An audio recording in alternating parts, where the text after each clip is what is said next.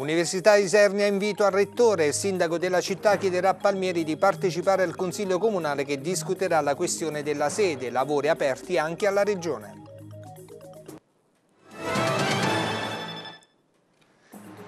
Saldi d'inverno, buono l'avvio. Secondo le prime stime delle associazioni di categoria all'inizio delle vendite è stato positivo, sconti anche sui prodotti alimentari tipici di Natale.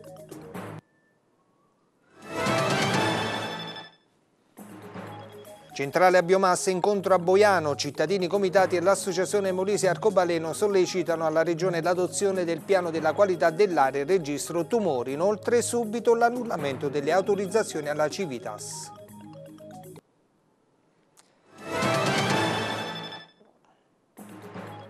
Presepi viventi in mostra, a Riccia sono oltre 300 i figuranti che animano la rappresentazione in 32 scene a Rocca Mandolfi esposti lavori provenienti da tutte le parti del mondo.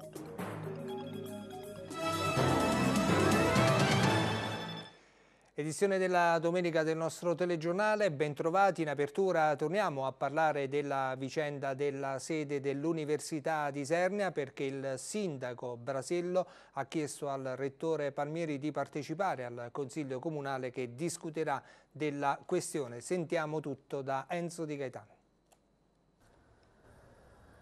Sulla vicenda riguardante la chiusura della sede di via Mazzini dell'Università del Molise, Luigi Brasiello ha deciso di fare chiarezza. Infatti il prossimo 20 gennaio si svolgerà un consiglio comunale, tra l'altro già chiesto dalle minoranze, al quale verranno invitati tutti i soggetti istituzionali interessati, ossia il presidente della regione Frattura e il rettore dell'Unimol Palmieri. L'intenzione di Brasiello è quella di chiedere pubblicamente sia al governatore che al rettore che cosa intendano fare in merito Brasiello, secondo quanto trapelato nelle ultime ore, intende mantenere fede al preaccordo previsto con la Curia per il mantenimento della sede di Via Mazzini e quindi all'esborso della propria quota necessaria per il fitto, ossia 40.000 di circa 80.000 euro necessari. Il sindaco però vuole che anche la regione si impegni per gli anni futuri per la restante parte e che quindi, una volta che ci saranno tutte queste garanzie, si esprimano i vertici dell'Unimol. In realtà il tempo per poter far cambiare idea all'università su quanto già deciso, ossia il trasferimento della facoltà di scienze politiche a Pesche, appare veramente risicato e quindi oggettivamente la data del 20 gennaio per discutere di tutto ciò appare tardiva. Sempre il 20 gennaio Brasiello intende chiarire anche la questione che riguarda il nuovo piano assunzioni dell'ente. Un piano che ha suscitato nuove polemiche e che rischia di peggiorare il clima tra i dipendenti di Palazzo San Francesco, che invece chiedono all'amministrazione di essere maggiormente valorizzati. E in questo senso si inserisce anche la possibile assunzione dall'esterno tramite la procedura della mobilità di un nuovo comandante dei vigili urbani. In realtà, secondo quanto si è appreso nelle ultime ore, l'intenzione dell'amministrazione è quella di assumere un D3, ma non per ricoprire la carica di comandante, ma quella di vice con ruoli operativi. Il che però non cambierebbe la sostanza delle cose, in quanto la municipale di Isernia in realtà attualmente non ha un comandante effettivo. Cambiamo argomento, il Molise aspira alla presidenza e alla vicepresidenza dei programmi comunitari di cooperazione interregionale Urbact 3 e di cooperazione transnazionale Adriatico-Ionico Adrion. La conferenza delle regioni ha infatti deliberato le candidature per i vertici dei comitati nazionali. Per il presidente della regione Paolo Di Laura Frattura le candidature rappresentano un riconoscimento importante che alimenta la volontà e l'entusiasmo di rafforzare presenza e partecipazione del Molise Molise in Europa. Nei prossimi giorni sarà definita la composizione del Governing Board della strategia macro-regionale Adriatico-Ionica, per la quale, ha aggiunto il governatore, determinante è stato il lavoro eh, con l'Euroregione, impegno grazie al quale è stato costruito un sistema di riferimento credibile riconosciuto dai governi degli stati transfrontalieri. Si è tornato invece a parlare della questione biomasse nell'area del Matese a Boiano in un incontro pubblico dal quale quale sono arrivate ancora accuse verso la Regione. Sulla vicenda delle centrali a biomasse nell'area del Matese, cittadini ed associazioni continuano a puntare il dito contro la regione Molise. Nonostante gli uffici competenti dell'ente abbiano disposto la revoca delle autorizzazioni alla costruzione di due centrali a Campochiaro, è ancora tempo di richieste, anche perché la questione non è chiusa, tutt'altro. Se ne è parlato in un incontro pubblico a Boiano organizzato dall'associazione Molise Arcobaleno e a cui hanno partecipato come relatori il giornalista De Chiara e il presidente del comitato regionale anticorruzione Musacchio E l'oncologo Giordano. Biomasse, ovviamente, ambiente, rischi per la salute dei cittadini, gli argomenti trattati e da cui sono state tratte le conclusioni. E qui le accuse sono rivolte alla Regione Molise che nonostante le promesse ribadite dal Presidente Frattura non ha ancora istituito il registro tumori e redatto il piano della qualità dell'aria. È vero che la revoca delle autorizzazioni di Campochiaro è arrivata, è stato detto a Boiano, ma il 15 gennaio prossimo si discute al TAR il ricorso della Civitas, l'ormai famosa società intestataria dei provvedimenti revocati, appunto contro la revoca disposta. Ed ancora gli uffici regionali competenti, dopo la revoca delle autorizzazioni, hanno avviato il procedimento amministrativo per arrivare all'annullamento delle stesse per vizi di legittimità originari dei provvedimenti. Ma il procedimento non si è concluso ed è per questo che comitati e l'associazione Molise Arcobaleno tornano a chiedere alla Regione di far presto. La salute dei cittadini è un bene primario da salvaguardare contro ogni rischio. Per questo è l'appello che arriva dall'incontro pubblico di Boiano occorrono un quadro normativo e strumenti precisi per raggiungere quell'obiettivo di salvaguardia dell'area del Matese a cui la Regione si è obbligata ma che altrimenti rimane un'enunciazione di principio. Torniamo a parlare anche della raccolta differenziata ad Isernia perché ci sono problemi ed ancora lamentele. Continua tra mille problemi l'avvio della raccolta differenziata dei rifiuti a Isernia. Le regole ci sono, c'è anche qualche carenza del servizio di raccolta che spesso non rispetta il calendario degli orari stabiliti, ma quello che sicuramente colpisce più di tutto è l'approssimativo senso di collaborazione da parte dei cittadini. Definire certi comportamenti incivili sarebbe facile, ma vogliamo davvero credere che forse è mancata un'informazione a tappeto, porta a porta, come dovrebbe essere proprio la raccolta differenziata. Si segnalano tante anomalie perché in troppi tra gli utenti, invece di scervellarsi a tentare di capire come dividere i rifiuti e come conferirli, preferisce la scorciatoia offerta dalla possibilità possibilità di andare alla periferia della città o nelle frazioni dove la differenziata ancora non parte e buttare così tutto nei cassonetti, comprese le carcasse di animali, come accaduto in contrada Capruccia e come ci racconta la signora che si è rivolta a Telemolise. E niente, qua abbiamo un problema che è più di una settimana che non vengono a ritirare l'immondizia, ma io non chiamo proprio per questo problema qua, chiamo proprio perché recandomi a buttare il, il sacchetto eh, sentivo una puzza strana. E niente, ho fatto coraggio a vedere un po' cos'era, ho trovato un agnello morto. Cioè, a parte il fatto di questo, cioè non, non va perché non, non mi lamento per l'organizzazione, ma mi lamento per inciviltà, perché già abbiamo un problema, come si vede già pure a Isernia, che non è soltanto qua, e dappertutto, Contrada Sinina, Contrada Rio, Santo Spirito, cioè siamo proprio pieno, pieni, pieni, pieni, pieni di immondizia. Parliamo adesso dei saldi che sono iniziati in Molise ieri, le associazioni di categoria sono moderatamente ottimiste. Allora vediamo come è andata nel servizio di Giovanni Di Tota con i primi dati. What's? Wrong with me. Quella che una volta veniva definita la corsa ai saldi è diventata una marcetta e nemmeno troppo veloce. Lo dicono i primi dati delle associazioni di categoria che invitano a un moderato ottimismo, anche se, è il caso di Confesercenti, l'andamento delle vendite a prezzi scontati sta andando meglio del previsto. I titolari dei negozi rilevano alla Confesercenti registrano un avvio positivo in tutta Italia, anche se a incassare di più sono soprattutto i negozi dei centri storici e delle città d'arte. Il il nord meglio del sud, stavolta anche per una coincidenza meteorologica. Uniti dal trend che va per la maggiore sono i negozi di intimo e di elettronica che propongono occasioni e sconti maggiori rispetto al resto. Ma quest'anno, dicono alla Coldiretti, al termine delle feste di fine anno vanno forte anche i prodotti che consentono di risparmiare a tavola. Dunque promozioni su cotechini, panettoni, torroni, frutta secca, lenticchie e spumanti. Si tratta spesso, spiegano dall'organizzazione agricola, di alimenti tipicamente natalizi che non possono essere considerati conservati per il prossimo anno e sono venduti quindi con sconti rilevanti che arrivano al dimezzamento dei prezzi.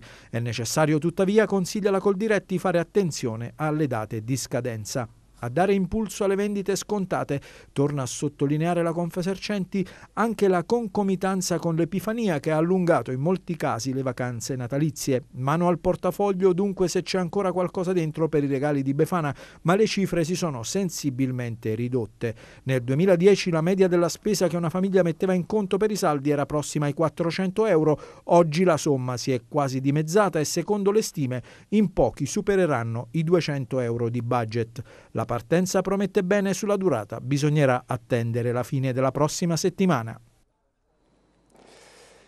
E con il Ponte dell'Epifania cambiamo così argomento weekend lungo molto buono per gli appassionati della neve in Molise. A Campitello Matese le piste, quella, quelle della parte bassa, eh, gli impianti di Funivie Molise e Noto sono fermi per la situazione della eh, società. Le piste sono aperte e battute in buono stato dopo le nevicate degli ultimi giorni. Per i turisti sono stati potenziati anche i servizi di sicurezza con la Polizia di Stato che ha aperto un ufficio sul pianoro proprio per garantire assistenza ai turisti soddisfatti anche gli operatori e i commercianti. Stessa situazione anche a Capracotta dove dopo la nevicata di Capodanno le strade di accesso sono tutte libere. Ieri sono stati collaudati gli impianti di, a servizio della pista di sci da fondo che oggi sono dunque aperti. Buone notizie per gli appassionati della neve anche dalle previsioni del tempo che annunciano altre precipitazioni in vista della giornata dell'Epifania. Adesso andiamo a Termoli dove ci sono polemiche ancora per la mancata convocazione del Consiglio Comunale in seduta eh, monotematica per parlare del raddoppio ferroviario Termoli-Lesina. Fabrizio Chionero. Sulla vicenda sarà il prefetto di Campobasso a dire l'ultima parola. Il presidente del Consiglio Comunale di Termoli, Manuela Vigilante, ha voluto comunque ribadire la correttezza del suo operato dopo le proteste sollevate da una parte della minoranza in merito alla mancata convocazione di un'assemblea monotematica sul raddoppio ferroviario tra la città e l'Esina. Mancava nella sostanza un atto su cui il Consiglio veniva chiamato a deliberare. La eh, minoranza che ha presentato questa proposta chiedeva al Consiglio di fare propri dei contenuti relativi ad atti e provvedimenti che ad oggi, a mio parere, sono ancora pienamente validi, conservano la loro efficacia e quindi tenere un Consiglio che poi portava a, ri a, ri a riconfermare degli atti ancora esistenti, a mio parere, non era ammissibile. La vigilante ha replicato anche alle accuse di ostruzionismo che i consiglieri di opposizione hanno rivolto alla maggioranza. Da parte mia, per quanto riguarda il ruolo che io svolgo eh, da Presidente, è un ruolo che svolgo con la dovuta imparzialità. Mi sono sempre comportata in maniera aperta, disponibile, ho cercato sempre e sto avendo un atteggiamento disponibile nei confronti di tutti i consiglieri com come è, è, è, giusto che sia. Per quanto riguarda la maggioranza, io credo che non abbia alcuna difficoltà remora ad affrontare tematiche, ad aprirsi alla collettività, in primo luogo ai cittadini. Ma l'amministrazione sbrocca teme di portare in consiglio la questione del raddoppio? Assolutamente no, non teme di portare la, la questione in consiglio così come aperta ad, ad un eventuale confronto e a un dibattito con la minoranza e con l'intera cittadinanza. Papa Francesco Giallangelus ha reso noti i nomi dei 15 nuovi cardinali che nominerà il 14 febbraio, sono 5 europei, 3 asiatici, tre dell'America Latina, due africane e due dell'Oceania. Solo due cardinali sono italiani e sono Francesco Montenegro, arcivescovo di Agrigento, ed Edoardo Manichele, arcivescovo di Ancone d'Osimo. Rispetto ai nomi che erano circolati negli ambienti vaticani alla vigilia, dunque non ci sono quelli di Chieti e Vasto Bruno Forte e il nome dell'arcivescovo di Campobasso Boiano Giancarlo Bregantini. Se non eh, ci saranno variazioni dopo il concistoro di febbraio, il collegio cardinalizio sarà dunque dunque composto da eh, 228 porporati fra elettori e non. E parliamo adesso delle manifestazioni, delle festività, il secondo giorno di apertura oggi dalle 17 alle 23 del Presepe vivente a Riccia, ambientato nella parte storica della città che eh, con oltre tre mesi di preparativi è stata trasformata per due sere in una piccola Betlemme. Il percorso si nota attraverso scene bibliche ed antichi mestieri con scene inedite e numerosi assaggi di specialità tipiche fra cui il calzone di San Giuseppe il Pugno pubblico delle grandi occasioni ha fatto da cornice alla prima serata ieri in attesa del clou della domenica. Il percorso, come la viabilità e i parcheggi sono completamente liberi dalla neve, hanno spiegato gli organizzatori grazie al sole di questi giorni e all'impegno dei volontari. Ma sentiamo Giuseppe Carrera. Siamo con il sindaco di Riccia Michela Fanelli, dunque una nona edizione del Presepe Vivente che ancora una volta significa comunità, condivisione, oltre 300 figuranti, insomma sicuramente un bel impegno. Un grande e bel impegno con cui Riccia saluta il nuovo anno e tutti i visitatori che accoglie come sempre con un grande abbraccio, anche se sotto la neve con un po' di freddo, ma con sempre maggiore orgoglio, come il vino invecchia bene, questo Presepe anche si migliora eh, nuove collocazioni, nuova, nuovi figuranti, vecchi figuranti, 332 quadri complessivi e qui adesso davanti alla Natività, davanti alla Chiesa dell'Annunziata anche uno dei piccoli gioielli del nostro centro storico. Ringraziamo ovviamente gli abitanti del posto, le tantissime persone che non soltanto in questi ultimi 10-15 giorni lavorano ma lavorano durante il mese alla Cremente la Proloco e l'ingegnere Moffa che hanno una grande pazienza ogni anno nel organizzare e ri visitare completamente non soltanto una tradizione eh, forte ma anche un grande credo, una grande fede che in questo momento ovviamente anima soprattutto con le difficoltà del momento non solo i riccesi ma io credo tutte le persone che vogliono guardare con fiducia e con speranza che il messaggio in generale che viene trasmesso con la natività a noi e io credo oltre al Molise eh, per questa grande e bella manifestazione di Riccia all'intero mezzogiorno vengono dalle regioni vicine ed è uno dei tanti momenti con cui il Molise si presenta meglio, al meglio eh, affacciandosi sulle altre genti, sulle altre regioni che apprezzano e ritornano e diventano sempre più numerose. Siamo alla nona edizione del Presepe Vivente di Riccia. Il Presepe Vivente insieme ad altre attività rappresenta, fa parte del patrimonio culturale de, del nostro paese e predispone predispone tanto, tanto lavoro, ma diciamo, tanto, tanto impegno e tanto eh, amore da parte di tutti i cittadini. Cittadini che sono diciamo, molto partecipanti e partecipativi, diamo anche un po' le cifre di questo presepe che è grandissimo. Dobbiamo dire che, che quest'anno abbiamo ah, voluto cambiare anche diciamo, un po' il percorso e, e l'allestimento e in questo devo ringraziare particolarmente eh, eh, Gianni Reale e Vincenzo Pece che, so, che, sono stati gli architetti e anche i registi di questa nona edizione. Ecco, una nona edizione che si sviluppa attraverso il centro storico, eh, ci sono tutti i luoghi simbolo o quasi tutti i luoghi simbolo di Riccia, eh, vissuti in che modo in, questa, in queste due sere, in queste due notti? Sicuramente diciamo, saranno vissute con, con, tanta partecipazione e tanta diciamo, eh, emozione. E, diciamo, il centro storico di Riccia già di per sé è bello, ma diciamo, quando viene, viene, allestito a festa eh, diciamo, è ancora più bello.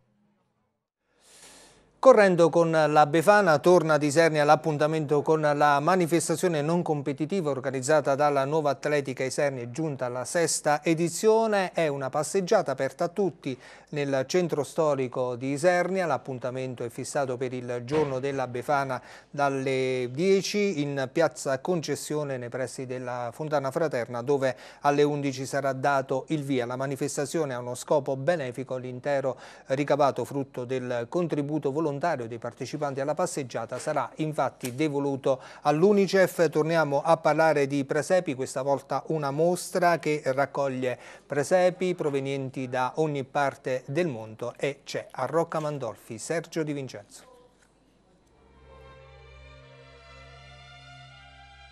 Da sempre i presepi rappresentano una buona occasione per dare spazio alla creatività e in effetti in lungo e in largo per l'Italia vengono realizzati autentici capolavori, ma nel resto del mondo in che modo viene rappresentata la scena della Natività? Se lo è chiesto la collezionista esernina Raffaella Nicoletta, ottenendo risposte eccezionali. In questi anni ha infatti raccolto presepi provenienti dai luoghi più disparati della terra, caratterizzati dall'assoluta originalità. Una parte della sua collezione è ora possibile ammirarla a Rocca Mandolfi grazie all'impegno del della Proloco, che ha deciso di accogliere queste opere d'arte in un vecchio fondaco del centro storico, a pochi passi dalla piazzetta centrale, sistemandolo e illuminandolo in modo da rendere ancora più accattivanti gli allestimenti curati personalmente dalla collezionista esernina. Per la mostra Presepi dal mondo, che sta riscuotendo ampio apprezzamento da parte dei visitatori, sono stati selezionati ed esposti 104 pezzi. Si passa dalle raffinatissime ceramiche iadro spagnole alle composizioni provenienti dal nord Europa, dai presepi realizzati in Africa a quelli del Sud America. Ma il viaggio tra i presepi del mondo non finisce di certo qui, c'è infatti tanto altro da vedere nell'esposizione di Rocca Mandolfi e non solo in questi giorni di festa. La Proloco ha infatti deciso di trasformarla in una vera e propria mostra permanente in modo che possa essere visitata in ogni periodo dell'anno, ma in questi giorni c'è naturalmente più gusto. L'occasione buona potrebbe essere quella del giorno dell'Epifania, quando in paese è in programma anche la rappresentazione dell'arrivo dei magi. Era l'ultimo servizio del nostro TG, grazie a voi come sempre per aver preferito l'informazione di Telemolise e arrivederci.